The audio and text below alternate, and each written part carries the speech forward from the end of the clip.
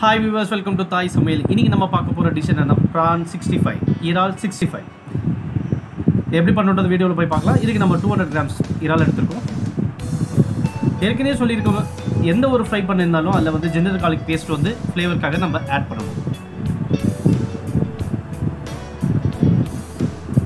நம்ம இந்த இறால் சிக்ஸ்டி ஃபைவ் கொஞ்சம் வித்தியாசமாக பண்ண போகிறோன்றதுக்காக கொஞ்சம் ஒரு அந்த ஃப்ரெகன்ஸ்க்காக புதினா ஆட் பண்ணியிருக்கோம்.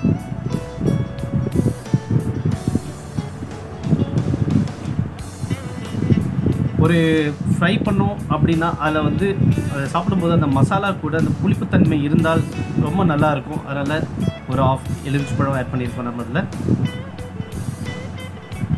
இந்த சிக்ஸ்டி ஃபைவ்ல என்னென்னா நம்ம வந்து நான்வெஜ் பண்ணுறோன்றதுனால கண்டிப்பாக வந்து டர்மரிக் வந்து ஆட் பண்ணணும். ஆன்டிசெப்டிக்காக எந்த ஒரு ஃப்ரை பண்ணாலும் நம்ம காஷ்மீரி சில்லி பவுடர் தான் யூஸ் பண்ணுவோம்.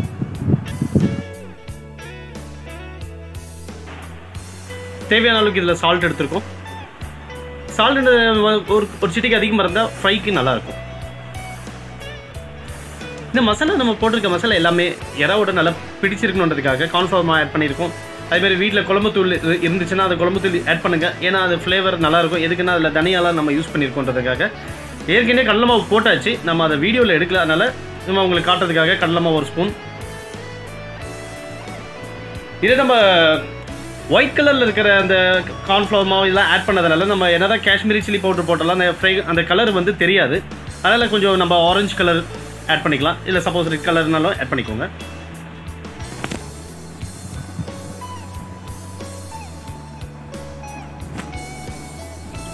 கலர் ஆட் பண்ணியாச்சு.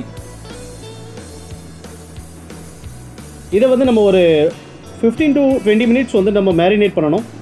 சப்போஸ் உங்களுக்கு தேவைப்பட்டதுன்னா கொஞ்சம் தண்ணி தெளித்து கூட நீங்கள் பிசைஞ்சிக்கலாம் எதுக்கு நம்ம தண்ணி வந்து எதுக்கு ஆட் பண்ணல அப்படின்னு சொன்னால் நம்ம இறவை வந்து ஆல்ரெடி இறவை கழுவி வச்சுருப்போம். அதுலேயே தண்ணி கொஞ்சம் இருக்கும். அந்த தண்ணியிலேயே நம்ம எல்லா மசாலாவும் பிரட்டி எடுத்துக்கலாம். டுவெண்ட்டி மினிட்ஸ் நம்ம வந்து மேரினேட் பண்ணி வச்சுருக்கோம்.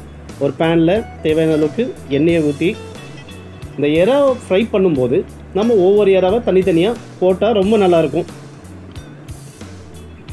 ஒட்டாமல் இருக்கும்.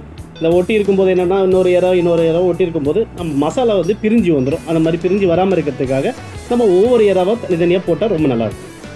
ஸோ இந்த இறாவில் பார்த்தீங்கன்னு வச்சுக்கோங்களேன் ஆன்டி ஆக்சிடென்ட் கண்டென்ட் அதிகமாக இருக்குன்னு சொல்லுவாங்க. அதனால் வந்து நம்ம உடம்புல இருக்க செல்ஸ்க்கெலாம் வந்து ரொம்ப நல்லது.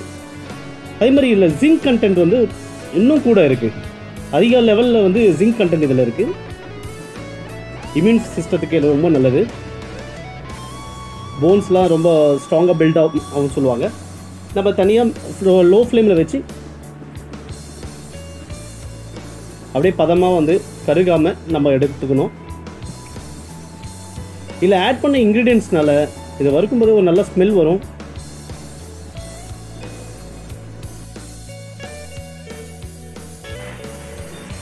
இந்த டிஷ்ஷை நீங்கள் வீட்டில் கண்டிப்பாக செஞ்சு பாருங்கள் உங்களோட எக்ஸ்பீரியன்ஸை கமெண்டில் ஷேர் பண்ணுங்கள் இந்த வீடியோ லைக் பண்ணுங்கள் ஷேர் பண்ணுங்கள் மறக்காமல் எங்கள் சேனலை சப்ஸ்கிரைப் பண்ணுங்கள்